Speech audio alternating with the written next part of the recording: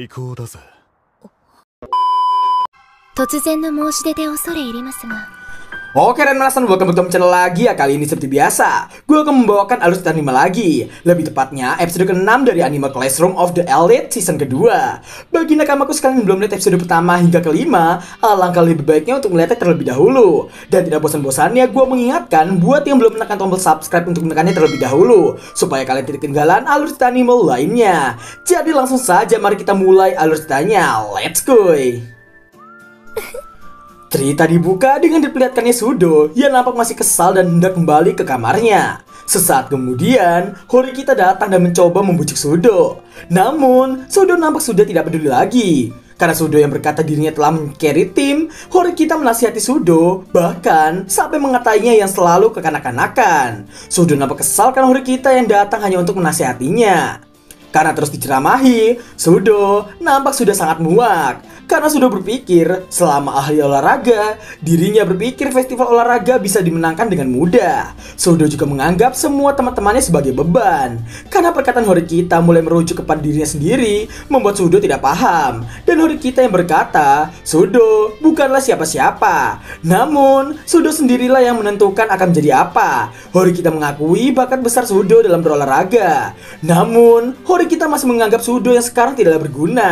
Karena Sudo mencoba lari dari kenyataan, Hori kita kemudian mengatakan dengan tegas, jika Sudo masih ingin bersembunyi, maka dirinya akan menyebut Sudo sebagai sampah. Sudo yang sudah tidak peduli lagi, sesaat kemudian pemberitahuan sekolah pun berbunyi dan Sudo yang meminta Hori kita untuk kembali.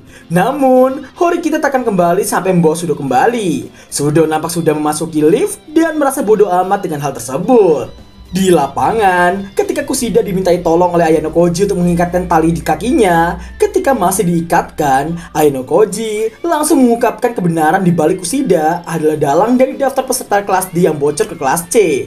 Namun, Kusida masih mengelak persangka Ayano Koji tersebut.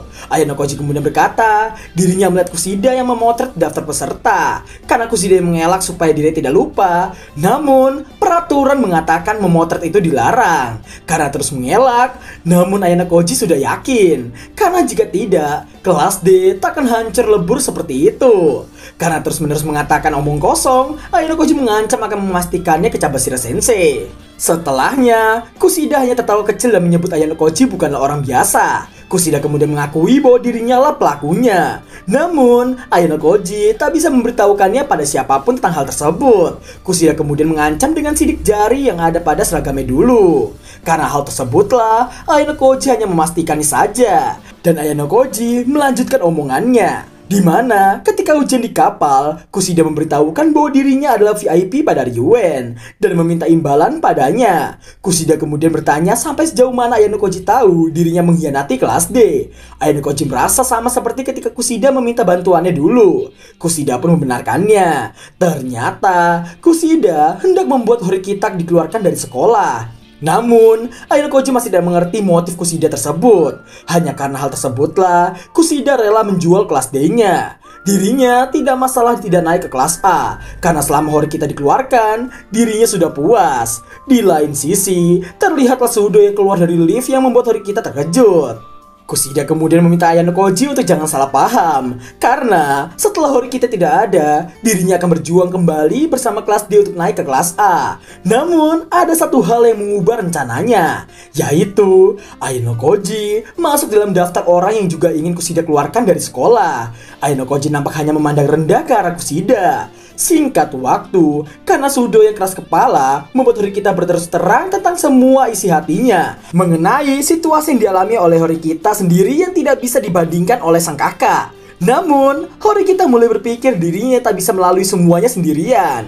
Dengan bersama teman, mungkin dirinya bisa mencapai puncak. Dirinya tak akan pernah menyerah agar sang kakak mengakui dirinya.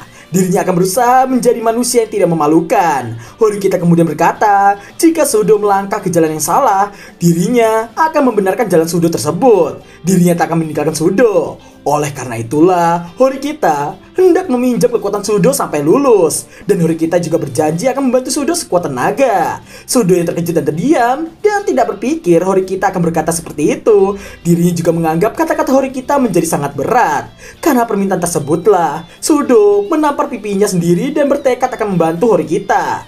Karena pertama kalinya dirinya diakui selain dari tim basket. Terlihatlah wajah Horikita yang tersenyum karena hal tersebut. Setelahnya, Sudo nampak tengah meminta maaf pada teman-temannya karena dirinya telah melukai Hirata ketika emosi sebelumnya. Terlihatlah wajah terkejut dari semua teman-temannya. Lalu, Sudo menganggap kelas D yang hampir kalah juga merupakan tanggung jawabnya. Dengan semangat, Sudo akan mengerahkan semua kemampuannya di lomba akhir. Tentu saja, Hirata percaya pada Sudo. Setelahnya, Horikita meminta untuk digantikan. Karena kondisi kakinya, dirinya tak akan bisa menunjukkan hasil yang memuaskan. Karena hal tersebutlah, Hirata meminta Kusida untuk menggantikannya. Ditambah satu teman kelas mereka yang juga berkata dirinya terkilir dan meminta untuk digantikan. Oleh karena itu, mereka membutuhkan pengganti lain. Aino Koji nampak langsung menawarkan dirinya sendiri.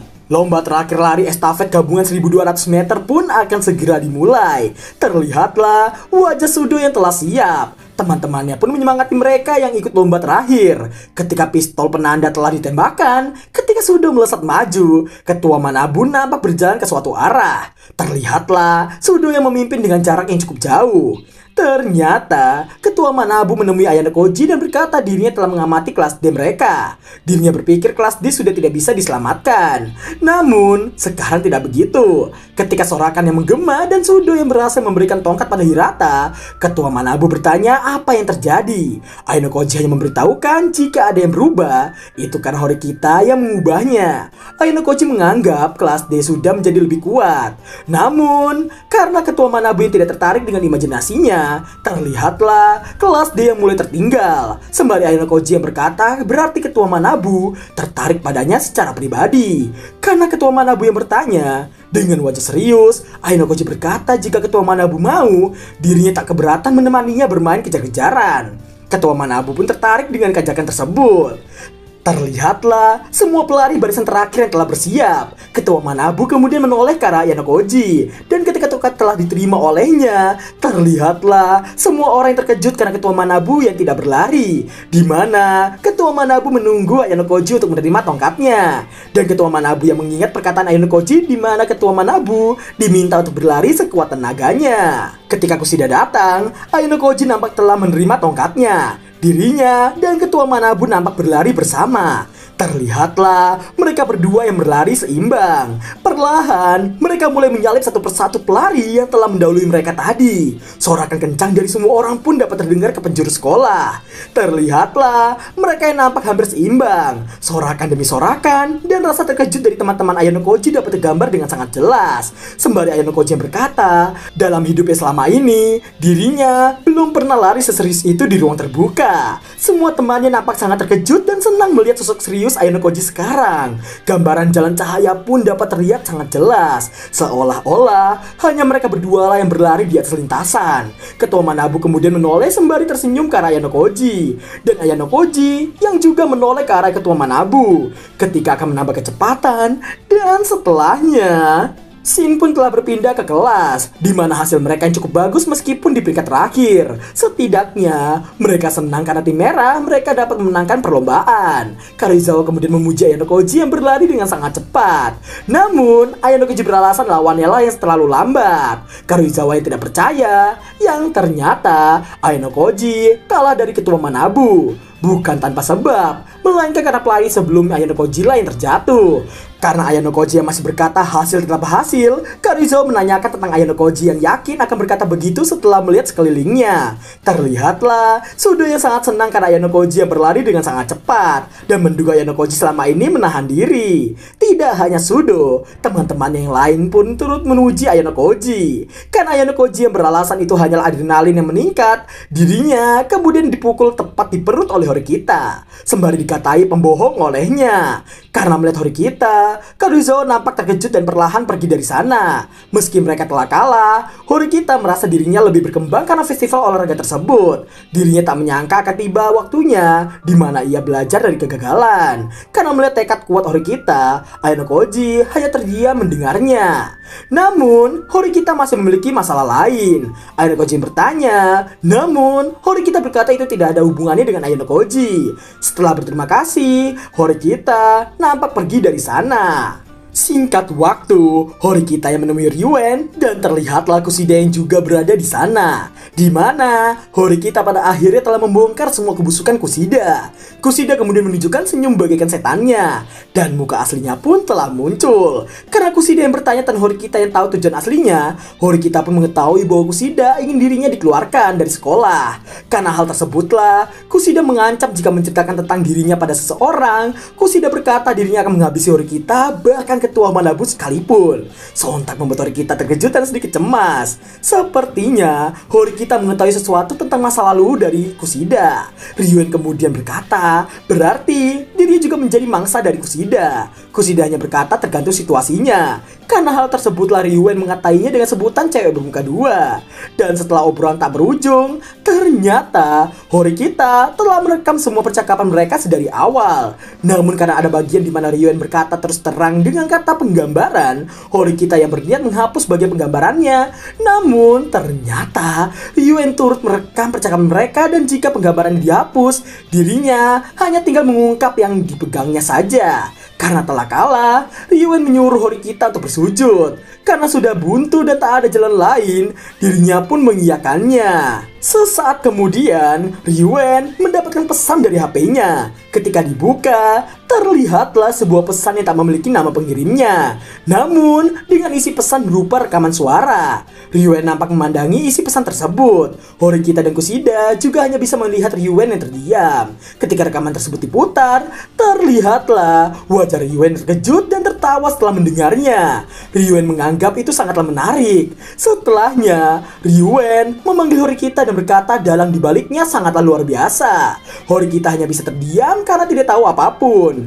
Ryuen menganggap dalangnya telah memperkirakan situasi saat ini. Ketika diputar, terdengarlah suara Ryuen yang merencanakan segala sesuatunya untuk menghancurkan Horikita. Sembari mendengarkan, wajah terkejut pun terpancar dari Horikita dan Kusida. Kusida yang bertanya apa maksudnya, Ryuen menduga ada pengkhianat dari pihak mereka. Ryuen menganggap Kusida telah dimanfaatkan karena pengkhianatannya telah terbaca. Ryuen beranggapan orang yang menyiapkan rekaman itu tak akan mudah menunjukkan dirinya. Ryuen bertekad akan mencarinya. Horikita nampak hanya terdiam karena hal tersebut. Dan pada akhirnya, Ryuen dan Kusida pun pergi dari sana. Terlihatlah Horikita yang hanya terdiam karena telah lolos dari dua setan barusan.